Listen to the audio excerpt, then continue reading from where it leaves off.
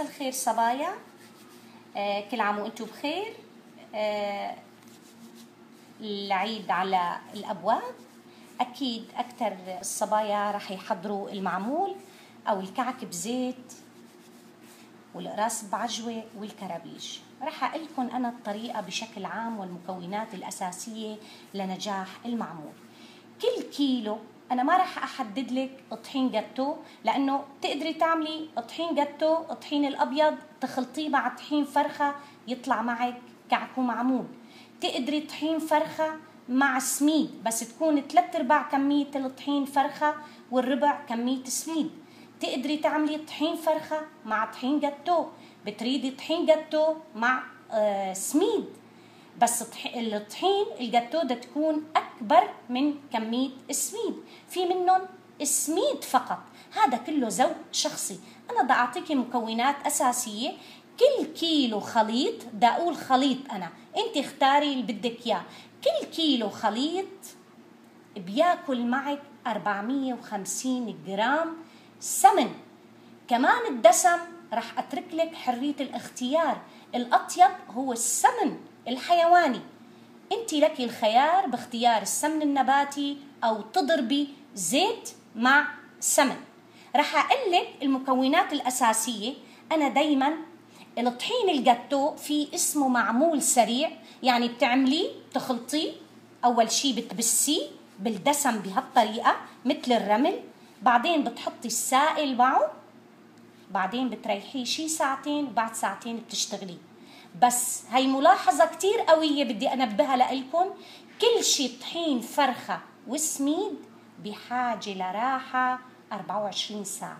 يعني دايما بالسيل مسا الدسم فقط بدون وضع السوائل.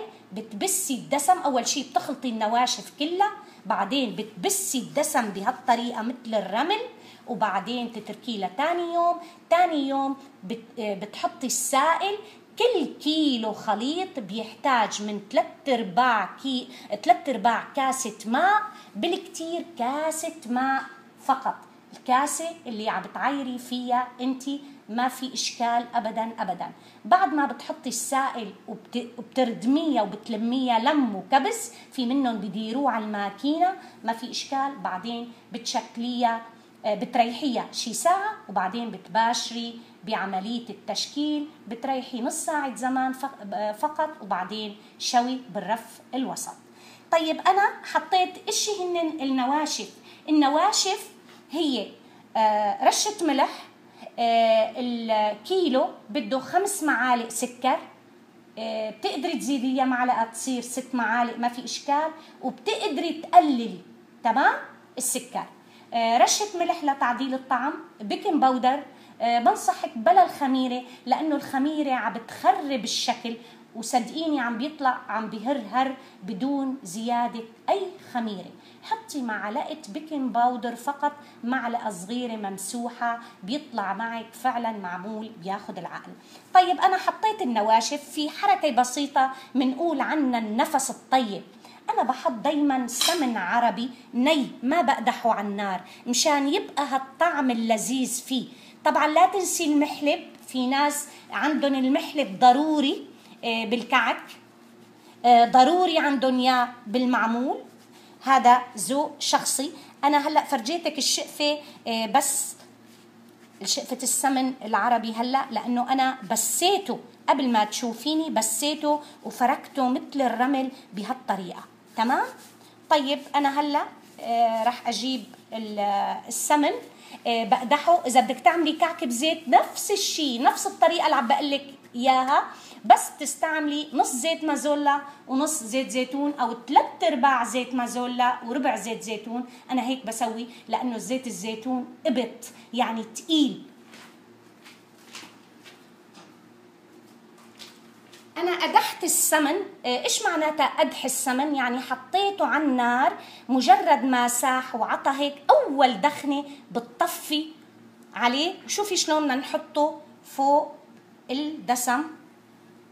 شوفي شلون عطا أعطاكي فوران. تمام؟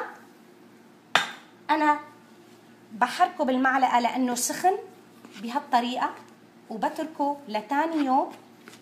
تاني يوم بحط السائل.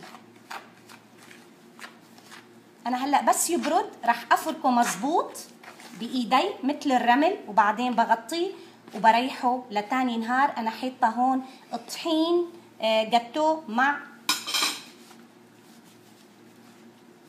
آه، طحين فرخة. بهالطريقة شوفي ما احلاه بكرة بقى بجوز ياكل معي نص كاسة بجوز ثلاث أرباع كاسة. في منهم بيحطوا حليب ما في مانع سائل حليب. آه بدك طعمة مية الجبنة حطي معلقة لبن كبيرة بتعطيكي مزة مية الجبنة إذا ما موجودة عندك. هي الحركة من مدام دلال فعلا بتاخد العقل آه اللبن معلقة وحدة بس للخليط. هي هي العجينة.